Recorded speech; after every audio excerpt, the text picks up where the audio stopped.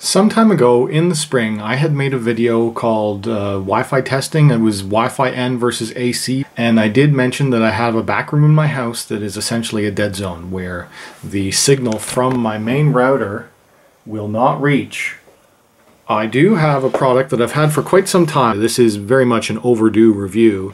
This is called the Aukey AC Wi-Fi Access Point Router or Repeater. A repeater means that it picks up the signal from your main router and it can extend the range. It's essentially a range extender.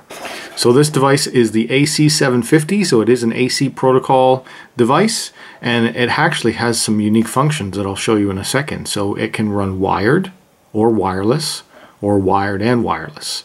It's essentially like a little router all built into one. And I have been testing it and using it for quite some time. So it plugs directly into a wall socket. This is a metal um, heat dissipating plate and also has the specs.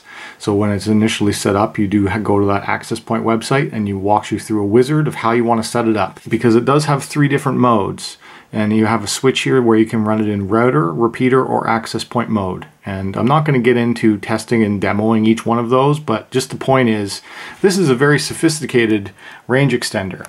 I've never seen another one that has all three functions like that. Normally, they're just sold as extenders. It does have a dedicated on-off switch and a reset button, um, and there's your uh, MAC IDs. It does have adjustable antennas, three of them. As I said, it's an AC access point, and the other unique thing about it is that it has actual RJ45 Ethernet ports, so you can run it with LAN and WAN. Very cool, and it works great. Here's the instruction booklet that it comes with, and like I said, this is a genuine Aukey product, and here's all of the Aukey information. You get a 24 month product warranty with it. You like them on Twitter, Facebook, Instagram. And it does come with an RJ45 cable. So this is exactly what comes in the box is what you're seeing here. And it's a pretty neat, neat device. It does get warm. Um, it also has status indicators. So let me actually plug it in so you can see how it works and how long it takes to pair.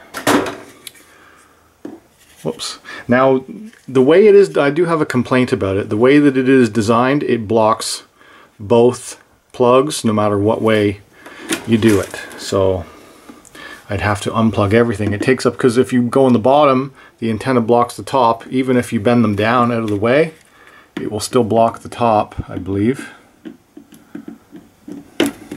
Yeah, so either way, you're sacrificing two plugs for it. That is a bit of a design flaw I would like to see improved in the next version. And then I'll just hit the on switch here. And it takes a while to boot up. And I already have it configured. So it will be searching for my home router, which is right there. I mean, this is not how I set it up. You want to have this positioned in a spot where you can still get a decent signal from your main router. You don't want to put it directly into the dead zone where there's no signal. You have to be able to get a link back and forth. And it's best to set it up where you your connecting protocol between them should be the 2.4 gigahertz protocol because that has a longer distance and range and then you can also have your devices connect to this on the 5 gigahertz band. And boom, just right like that, now we've got a signal. So now we, we are sending out a good signal, and it has a good signal. It's on the internet, ready to go. And now if I look on my phone, there will be additional access points.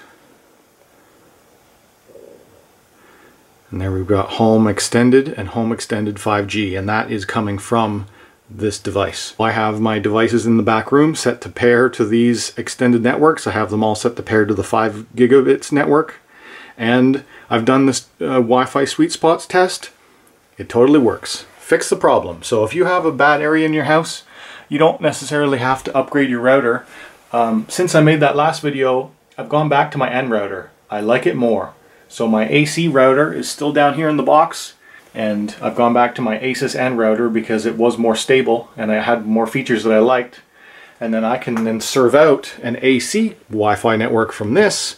So my game consoles and stuff in the back room are going to get an AC connection to this and then it has an N connection back to the router. It works totally great for having my consoles connect to the internet that were in that back room and having a hard time getting a signal. All right, so that's the Aukey AC750 Wi-Fi booster. And if my delay in putting this out has been so long that they don't no longer make this exact model, I will link to a current model because, you know, this stuff, like any tech thing, constantly being upgraded. So I'm sure they have newer, better models of even this out now. All right. Thanks for watching.